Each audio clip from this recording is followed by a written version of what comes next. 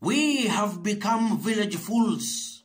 It is only here in Kenya where a man traverses on a daily basis from Kayole to the CBD and in the news you won't hear. But now because it's not a common man walking, we behave as if we have seen the true Johnnie Walker. Kenyans, we need to sober up. Who bewitched us?